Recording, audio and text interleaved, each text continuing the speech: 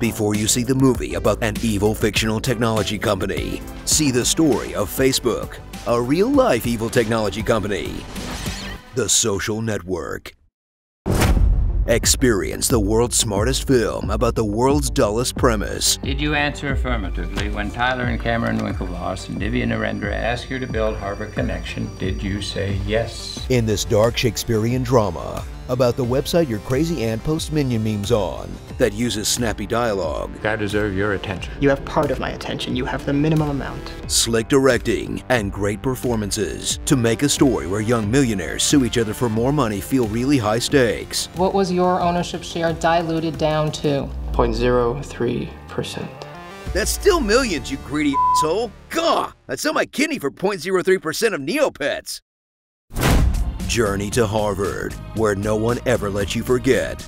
It's Harvard. This is John Harvard. We're gentlemen of Harvard. Girls want to go with guys who go to Harvard. Harvard. Harvard. Harvard. Harvard. This is Harvard. And meet Mark Zuckerberg, a star student with the mind of a calculator, the heart of a troll, Erica Albright's a bitch. and the wardrobe of a comfy hobo.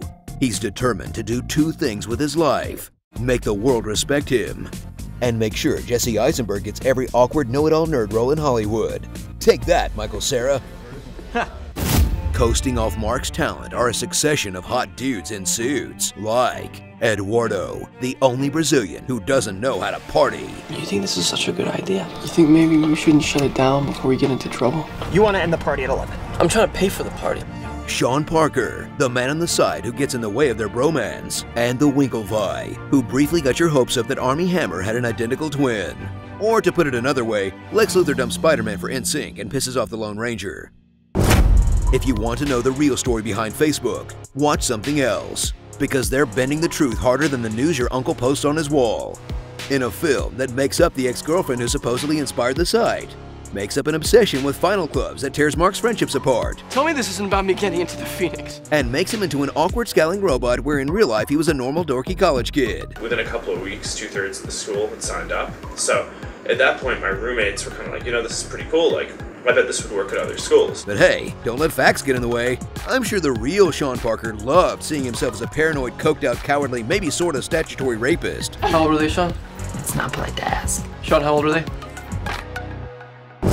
So gather round for a film that's not really about Facebook. It's about friendship that still nails what it's like to use the website. In this masterpiece of craft that proves Aaron Sorkin could make boring litigation exciting, You stole our whole goddamn idea. Fellas. David Fincher could make applying for an internship look awesome, Welcome to Facebook.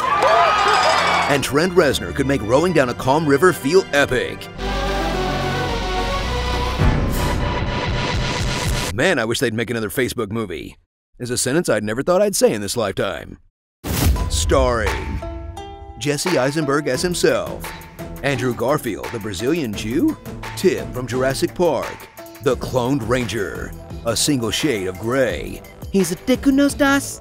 And all the laptops who gave their lives so David Fincher could get the perfect shot.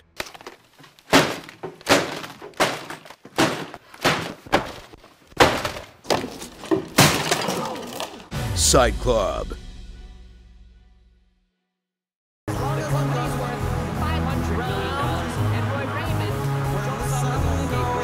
Know it's realistic and everything, but trying to understand Sorkin dialogue in a loud bar is like your grandma trying to understand how Facebook works. No, Nana, the search bar is not the same as the status update. Gah!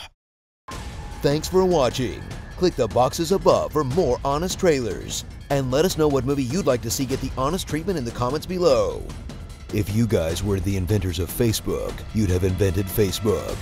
Yo, Danny Fenton, he was just 14 when his parents built a strange machine. I've got to get back, back to the past. Samurai Jack. Hula hula, I am a nugget. I tune into honest trailers week after week, waiting for my comment to be read out. I just want my mother to be proud of me.